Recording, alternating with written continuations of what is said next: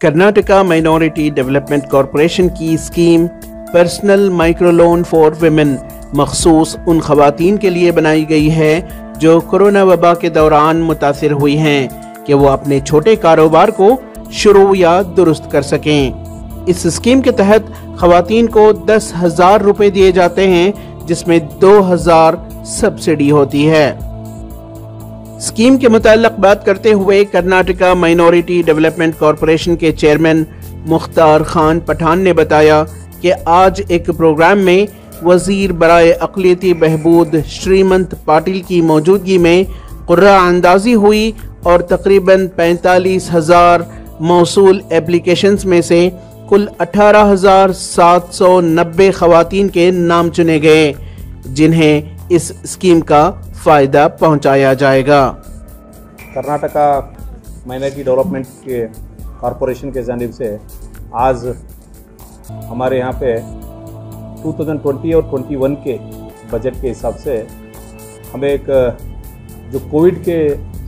जो इस बीमारी की वजह से जो हमारी सारा मुल्क और सारा, अभी दुनिया, पूरी दुनिया हमारी जूझ रही थी कि गरीबी के हालत से और वो उस टाइम में कोविड में गरीब कैसा रहना चाहिए बोल के उसका बिज़नेस कैसा, ऐसा सोच रहे थे। उस बाद में हम लोग एक ऐसा स्कीम लगाए थे कि मैं हर एक ले को एक दस हज़ार रुपये दिया जाए, उसके अंदर आठ हज़ार रुपये लोन और दो हज़ार रुपये सब्सिडी दे तो एटलीस्ट उसमें तरकारी या उन फ्रूट बेचना है, या जात, जात्रा बोलते हैं, उसमें वहाँ पे जरा कुछ फूल फूल बेचना है, ऐसा क्या तो भी अपना बिज़नेस करके आप गुजारा कर सकते हैं बोल के हम सोचने के बाद में, हम लोग स्पेशली लेडीज़ को हम लोग वो ये करते हुए उनको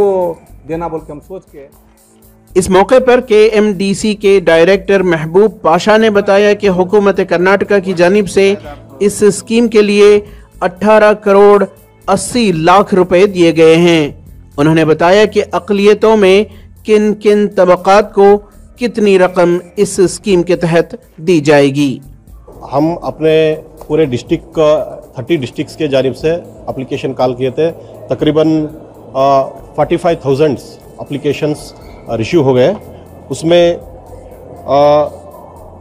टोटल अट्ठारह हज़ार सात सौ नब्बे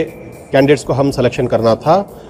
उसमें से क्रिश्चियन जैन फारसी सिख बुद्ध जो भी कैंडिडेट थे, वो टारगेट से अप्लीकेशन कम आए, वो 100 परसेंट सेलेक्ट हो गए। तो रिमेनिंग अठारह हज़ार सात सौ नब्बे में तीन हज़ार नौ सौ अस्सी यानी कि माइनस करके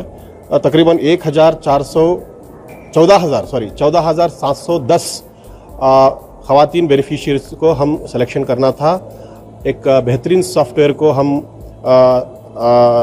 हायर करके हॉनरेबल मिनिस्टर के प्रेजेंस में आज ये लाटरी ऑनलाइन लाटरी सिस्टम के तरीके से हम आज बेनिफिशरी को सेलेक्ट करें। ईटीवी भारत के लिए बेंगलोर से रफीक जब्बार की रिपोर्ट।